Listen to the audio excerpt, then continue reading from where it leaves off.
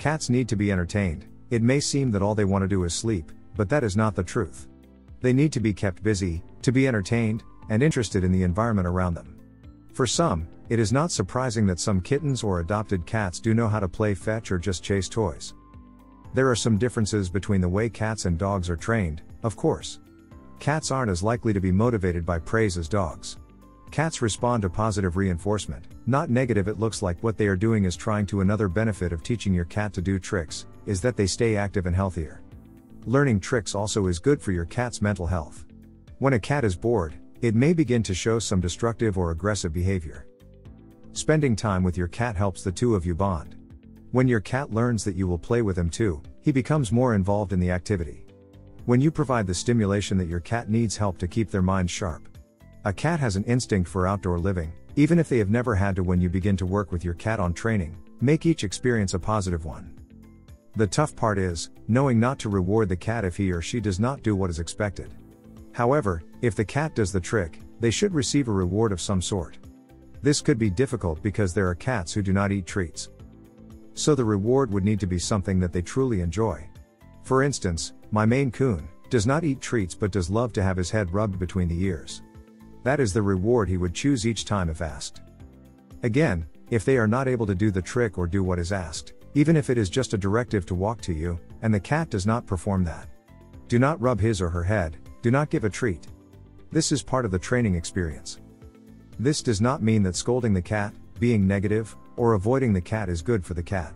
Punishing your cat for not succeeding, or even showing disapproval towards your cat will only make him have no trust in you. The playing would stop, the training would not continue. Once the trick has been successfully learned, a new form of reward should begin. Too many treats can lead to an obese cat. This would only be detrimental to the health of your cat. The training sessions should be kept short in time length. Too long and the cat gets bored or frustrated and will stop on his or her own. Easiest tricks.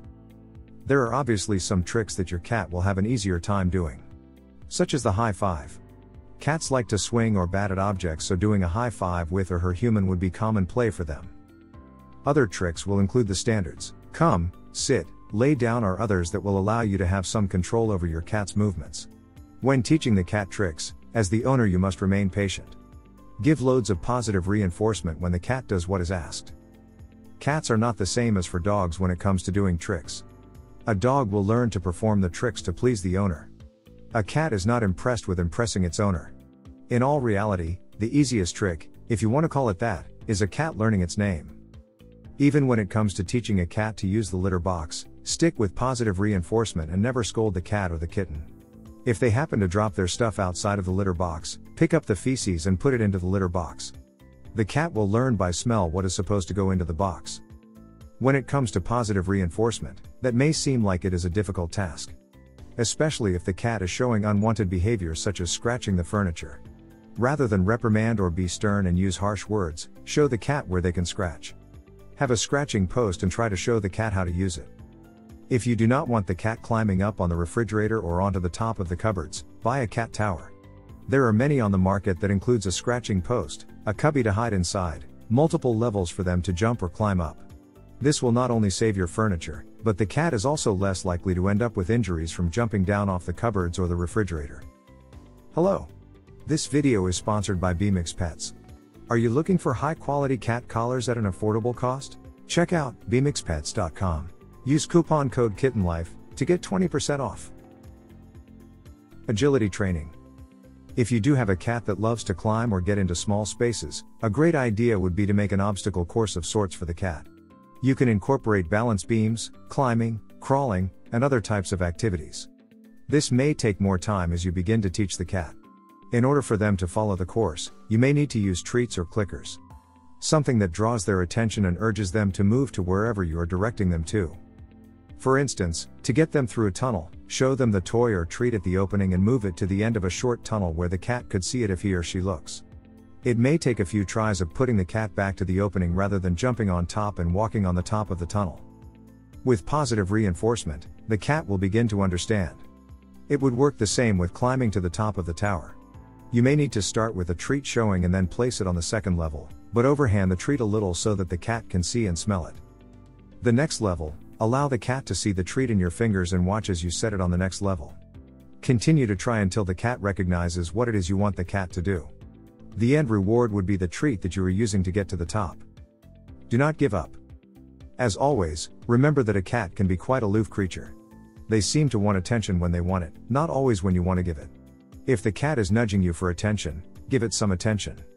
It learns that you do pay attention. When you want the cat to pay attention to you, call its name and reward it with positivity if the cat comes. Never listen to the naysayers that say a cat cannot be trained to do tricks. Your furry feline can learn anything it wants to learn, within reason.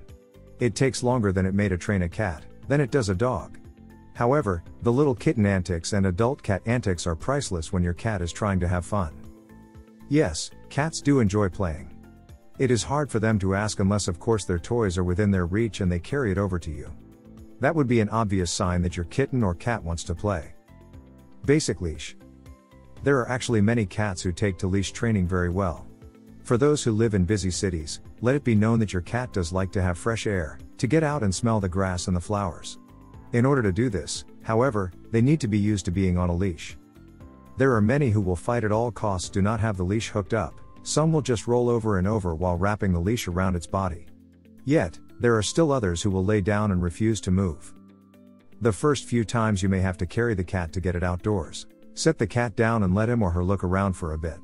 Pretty soon, the innate sense of curiosity will get too much and the cat will have to take a step or two, maybe more.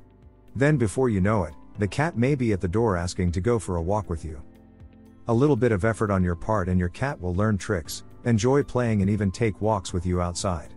Cats may be fickle creatures, but they are so much fun once you and he both learn what it takes to play nicely with each other.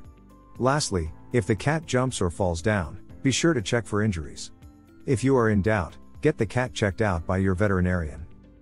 Once your cat has fully mastered his first trick, move on to others. Using treats and your clicker, you can introduce common tricks like down, stay, and come. You might also want to consider teaching your cat practical behaviors like how to walk on a leash. If you're committed to teaching your cat tricks but are having trouble with the process, contact a trainer in your area. Just be sure that he or she has expertise in working with cats. Also, be certain that anyone you hire shares your belief in positive reinforcement.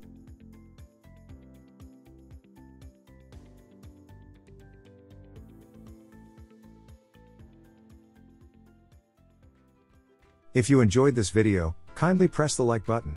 Also don't forget to subscribe with notifications on, so that you don't miss out on videos like this. Thank you for watching.